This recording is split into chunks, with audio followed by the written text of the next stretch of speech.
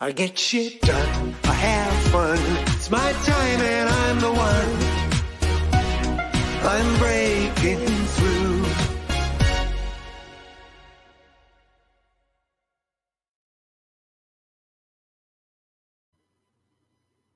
Hello and welcome to another episode of The Business Renovator. I'm your host, Coach Phil. Today we're going to talk about increasing your efficacy and your causative power, which is one of the same. And do it in a way that's relatively easy. It's not hard work. Before we jump into that conversation today, if you're watching us live at the moment, thank you for being here. If you have a question around anything we bring up today, please shoot it into the comments and we'll do our best to address it. And if we can't address it right away, we'll get the answer for you uh, and get it off to you.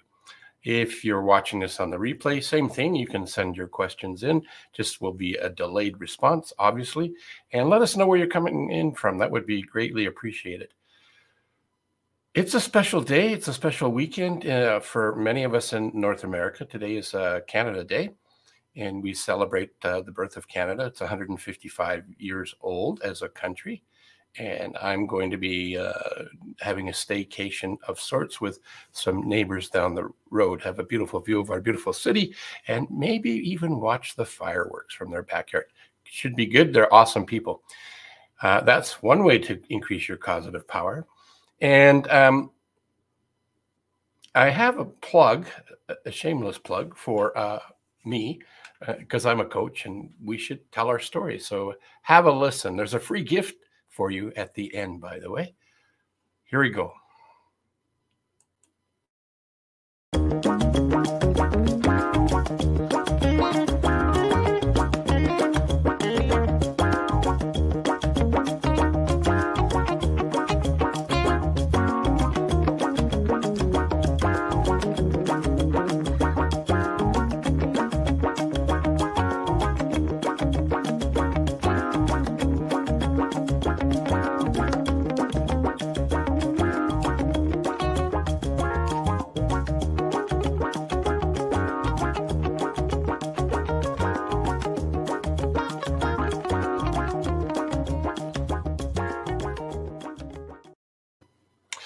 That song cranks me up. I was dancing in my seat, um, off camera, of course, but I like that song. Uh, just recently added it to the uh, to the promo piece. Yes, it's a shameless plug.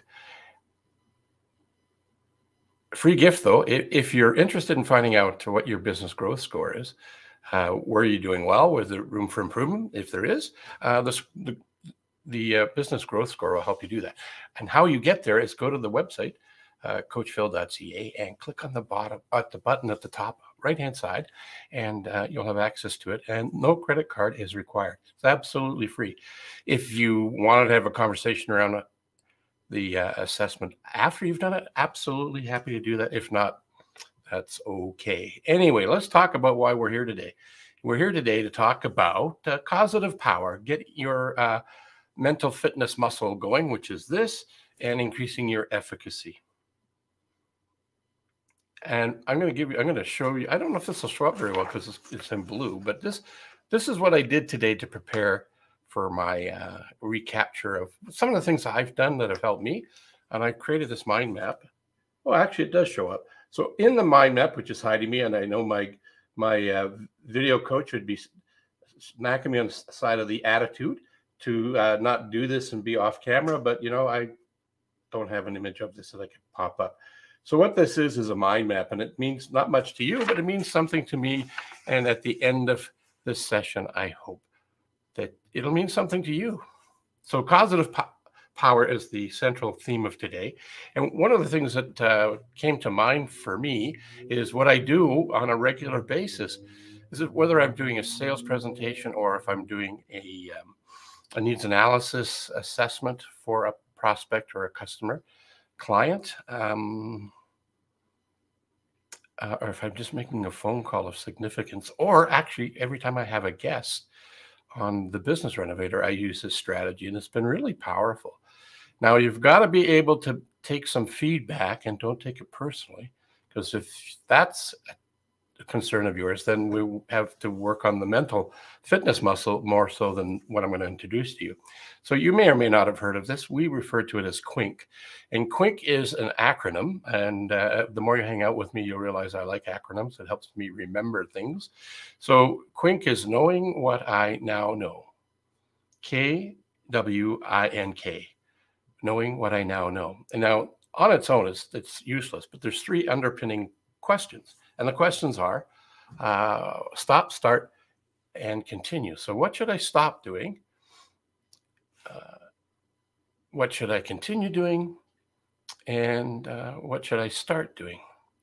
And when I've done that for myself personally, it's helped me identify where um, I'm getting my own way, where I'm having uh, missed opportunities because I'm not working on the right uh, component of the project right away. Um, also, what am I doing right? Because when I look at what I'm doing right, it's like a pat on the back for me to know I'm on the right path and doing the right things and giving enough value to myself or my my clients.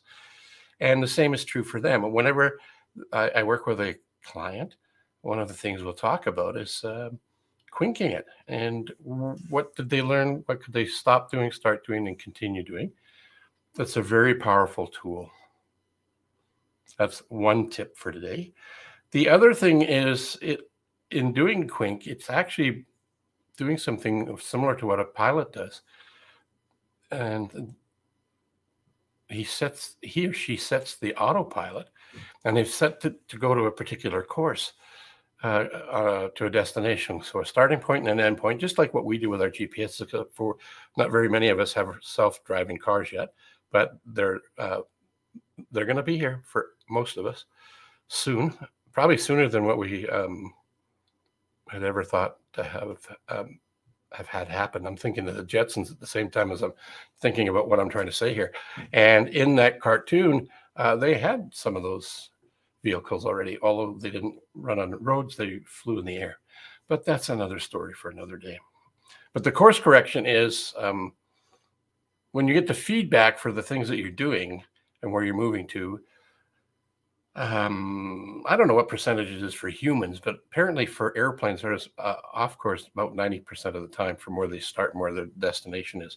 And the autopilot does course correction for them uh, when it's uh, activated to make sure that they do get back on course. And, you know, the wind pushes them away. Uh, they need to deviate because of turbulence, but they still have the end result in mind.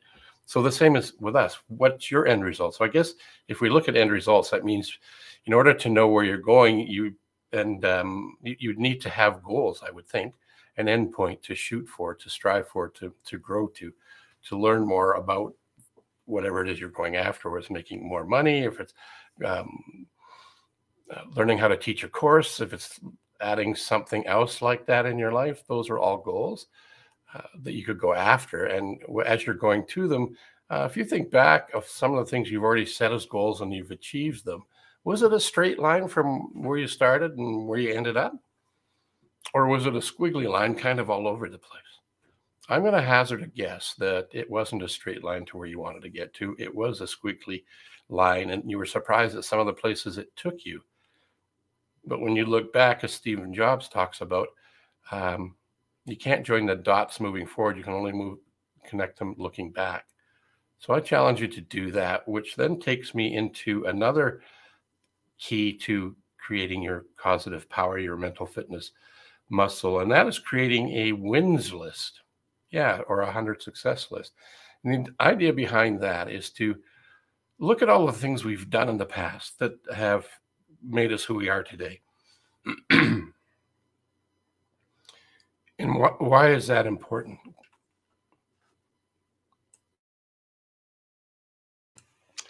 It's important because uh, Dr. Bandura says we go through our successes way too quickly and way too lightly. And if we stop to assess where we've come from and what we've done, what we've learned, uh, who we've helped, what we've become, it allows us to slow down enough to give ourselves a pat on the back, essentially, to recognize that uh, we are pretty powerful individuals and stop taking ourselves for granted. Um, again, he, Dr. Bandura says we go through those sorts of things way too quickly and way too lightly. So I would encourage you to slow down just a little and look back at the things that you've overcome. If you've um, had adversity in your in your life and you're still here, what did you do to get through it? What were the lessons? What were the gifts? Who did you become? What did you learn? What did you experience that helped make you the person you are today? Write those down. Uh, maybe you won a sack race when you were a kid and you haven't talked about it for a decade. So go back and revisit that for a little bit and remember how you felt winning that and having that experience. What other things have you done in your life? What are you doing, working on right now that if you borrowed the feelings and the emotions like from the past, like flick back to those powerful emotions of wins and successes and flick forward, bring them into what you're working on now. Or if you have aspirations to do something that's out of your um, experience in terms of uh, capabilities, we can grow into it.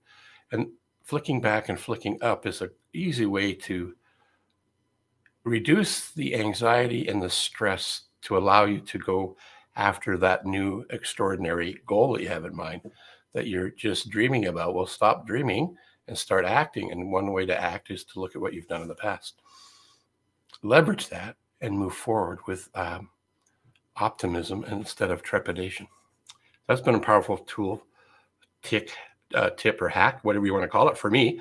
Uh, mental fitness. Well, mental fitness, I mentioned earlier in today's uh, episode. And what we're talking about there is this. How can you develop your, your, um, your mind, your muscle, uh, your brain, so that it actually focuses on the good? Well, the 100 success list is one. Kwinking is another. And then mental fitness is actually a uh, like an operating system or um, a methodology to help develop our uh, yours, mine, mental fitness muscle, our brain, so that we focus on the possibilities more and less on the things that are worrisome. We actually have 10 saboteurs. We have the uh, main character, which is the judge. We all have a judge, you know, the one that tells you, who am I to do this or creates imposter syndrome or maybe it's only me who has that uh, imposter syndrome from time to time. Or I can't do that because I'm too old, too young, too short, too tall, too skinny, not uh, not muscular enough. Whatever the uh, voice in our head tells us why we can't do it. It's it's a crazy thing. It actually is doing us a favor because it, it, it thinks it's keeping us to where we see ourselves. In other words, our self image, and that's a good thing in some ways and a horrible thing in other ways because it's keeping us in our isness, our the way we see ourselves. And that negative voice is doing that because it thinks it's protecting us from ourselves, which is really not the truth. It's just a perception. You see, we act not in accordance to the truth as it is, but more along the lines of how we perceive it to be. By developing our mental fitness muscle, we're able to move in and away from move away from the saboteurs all 10 of them and move into the sage like which is looking for the possibility um, of making things happen reducing stresses in our life looking for the gift versus the obstacle. And one way i like to see obstacles as is that as an obstacle illusion obstacle illusion. Because it's in our mind and we it's just an illusion and we can get around most of the things in life if we just allow ourselves to do that.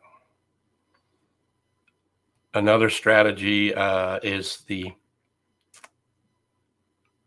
writing things down in a reflective thinking journal so capturing all of your thoughts the good the bad the ugly your goals your aspirations and paying attention to the trend of your thinking as a result of doing that, you'll find out what's most important to you. There'll be some things that your um, saboteur mind's going to bring up, and by journaling it and paying attention to it, you'll be able to discern whether it's something you want to deal with or it's unimportant, and you can just throw it away and not put any more thought there when it shows up and you've something you've identified is not important to you when the saboteur brings that back up you can just uh, quieten it down or deal with it we have a number of different strategies to help you with your saboteurs. And you could use one or two of those strategies to quiet the saboteur down. Uh, they never really go away, but we can calm them down and not give them the power that they currently have. And it sounds like I'm talking about the a, a third person. I'm not. It's just the way we think. And if we can control the way we think, we're going to get a different sort of end result. So if you change your thinking, what you think about changes. It's a Dr. Wayne Dyer uh, quote, but it's true. It's very true. So reflective thinking is um, a creative way to capture your thoughts, your ideas, and your angst and aspirations. And there's a bunch of different ways to do it. There's a number of uh, uh, YouTube videos and audio programs, uh, MP3s, and things that you can get from other people. But the essence of it is to capture your thoughts. A couple of things you might want to do is um, put page numbers on your journal somewhere in the top. I use the top left and right corners of the page. The only rule is to to write in it frequently. Uh, you can write upside down. You can misspell words uh, on purpose or accidentally. You can draw if you can if you have that skill. Use multiple colors. I find that's useful because using uh, one color on um, a piece of paper tends to be monochromatic, and what ends up happening is not much. It's harder for our subconscious mind to absorb and create that uh, or etch it into our mind. It, it does etch it in, but if we want to get it in uh, deeper and quicker, use colors, pictures, um, and be creative with it. Right upside down, right sideways up, whatever you want to do. Uh, the other thing you want to do is in the back of it, have an index. And in the index, you want to uh, put what page the idea was on so that when you go thinking about or want to track the trends, you can see what pages they are on it and, and reflect right back to them. And it's a quick and easy way to do it. So page numbers, well, first of all, a journal, page numbers, capture all your thoughts, good, the bad, and the ugly, or as many thoughts as you can. I guess you never really capture them all. At least I haven't. Uh, colored pens, colored markers. It's open, no spells on incorrect spelling is okay. Upside down writing, sideways up writing doesn't matter. If you can draw, draw. And do it on a regular, consistent basis and give yourself time to go back uh, after a week, a month, and, and, go back and just scan what's important. Add more notes, extract the, the nuggets and put them in the index, uh, or maybe even put them into another document. Could be a digital one, I suppose, and maybe there'll be a book comes out of that, maybe a plan for a business or a trip or whatever it is that's important to you. We've, so we've done the wins list, we've done the reflective thinking, we talked about mental fitness, controlling the saboteurs and engaging with our sages, the possibility thinking. Uh, we talked about airplanes and you know 95 90% of the time they're uh, off course and the autopilot and the pilots are course correcting just to make us get back to where we want to get to. So they need a start point and an end point, and they manage the in between part.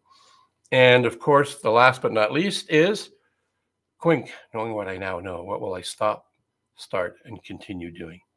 So those are a number of ways that you can use to develop your ability, your to get more stuff done, your causative power, or as Dr. Bandura called it, your self efficacy, which is really the same, just a different word. So, whatever word resonates with you, use that, do it, and uh, may you have much success in your life. And if this is working for you, uh, after you've tried it for a while, send me a note let me know it worked, or send me a note and tell me it didn't work. Let's have a dialogue around that.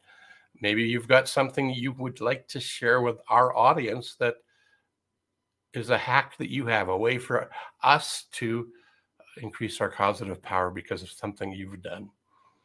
I have a guest here from Facebook community, and they're saying uh, Happy Canada Day. I much appreciate that, but I'm not sure who it is. I know a couple of people that live there, but I'm not sure which one of them it would be. It could be Ron Goodwin. It could be Joe Norcott. Um, it could be Greg DeSimone.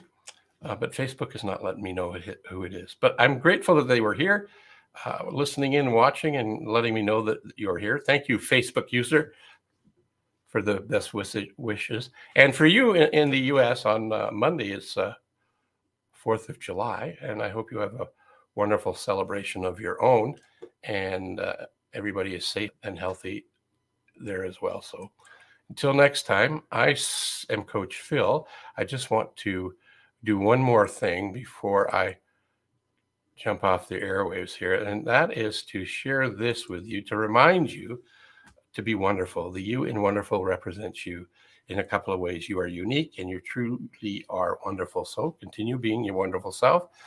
Maybe one of these ideas here will help you increase your causative power and allow you to move forward.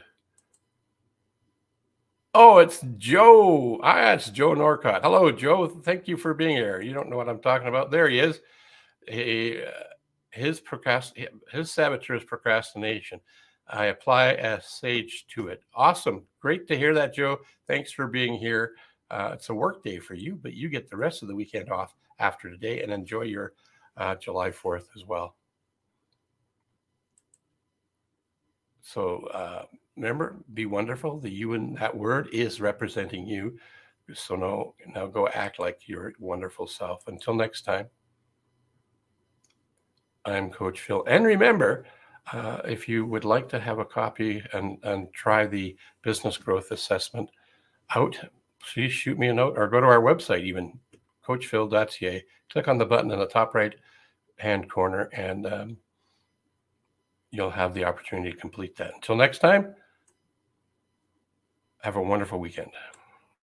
I get shit done. I have fun. It's my time and I'm the one. I'm breaking